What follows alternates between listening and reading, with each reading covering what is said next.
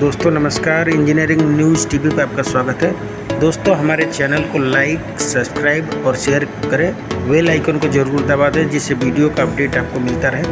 दोस्तों, ये Indo power company का यार्ड है। हिमाचल प्रदेश में है ये। या वहाँ पर प्रोडक्शन होता है और यार्ड है जहाँ पर गाड़ी खड़ी होती है। इंडो पावर ट्रैक्टर भी बनाता है, हाइड्रा और फराना दोनों बनाता है। चौदह टन से लेके तीस टन की गाड़ी आता है उसमें क्रेन में। ये यार्ड है इनका देखिए। यहाँ पे चौदह टन से लेके तीस टन की गाड़ी है। इनका जो हाइड्रा आता है, उसका जो पीछे का टायर रहता है, चौदह ज़ीरो पच्चीस का लगाते हैं।